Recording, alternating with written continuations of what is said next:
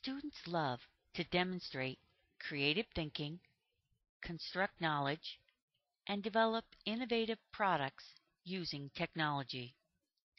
In this unit, students will explore the meaning of proportion and how this meaning can be applied in real life.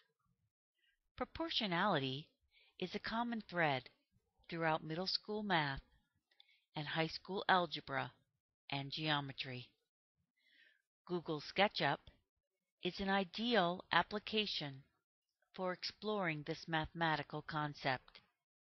Students can create two-dimensional and three-dimensional objects and find the surface area, maintain proportion, and apply a scale factor to these designs.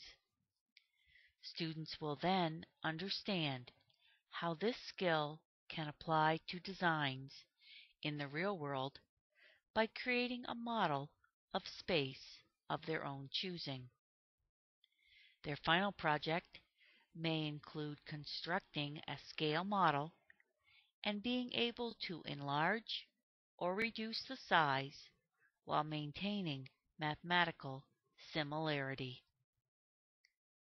These skills are certainly concepts that students will be utilizing throughout their education, workplace, and home and family situations.